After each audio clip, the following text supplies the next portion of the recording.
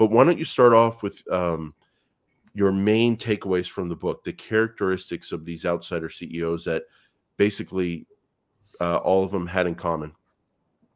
Sure. So, I mean, all of them kind of understood that the CEO has two roles, which is capital allocation, and uh, they have to manage operations, but they have to do it. The main focus of the CEO should be that they need to allocate the capital, the money that the cash that the company is generating. Uh, the second thing is that their interests are always aligned with shareholders. Um, the third thing is that they prefer to run a decentralized operation. So we saw that with Teledyne. We see that today with Berkshire Hathaway, where it's very few people at headquarters managing like I don't know 400,000 people across the world. Um, all these CEOs focused on cash. They focused on cash flows, and um, the fifth point is that these CEOs were frugal, and we saw that primarily with Tom Murphy. So that's the person who kind of stands out when you talk about frugality. Yeah, and we'll um, this is like him. something that I saw with all these CEOs. What about yeah, you? Well, um, some things that come to mind when you say focus on cash. I think what we're meaning there's the focus on cash flow. Cash right. flow is the goal as opposed to cash reported returns. net income. Yeah. Um, some things that come to mind. The biggest thing that comes to mind for me is buybacks. Um, it doesn't mean that every quarter, every year you buy back stock like a lot of these corporations do now, but uh, buybacks that are at opportune times that are uh, at times when the when the stock is cheap basically uh, and even though buffett until recent years really hadn't bought back uh, berkshire hathaway mm-hmm.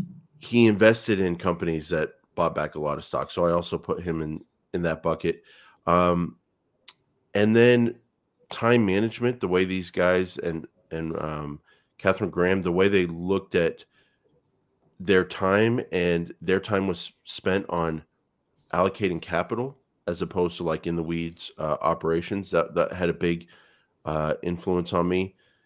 And then the third thing was the importance of getting high rates of return on that allocated capital right. there's a there's a book uh, hundred baggers by i think it's chris meyer or chris mayer another book we're going to read here.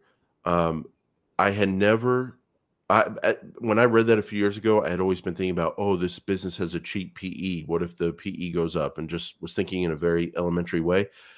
What I had never realized until that book was that real long-term stock returns are driven by what management does with that free cash flow.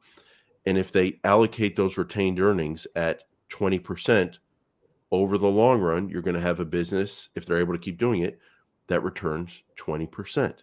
Um, and so I never really figured that out until that book.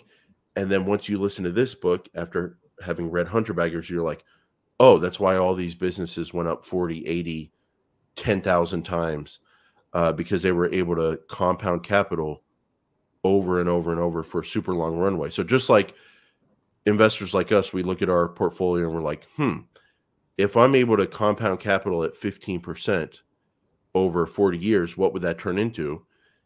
That's why the stocks of these businesses went up 40, 80, 10,000 times because they allocated capital at those those high rates. So the importance of allocating capital um, was uh, was my third big takeaway. So let's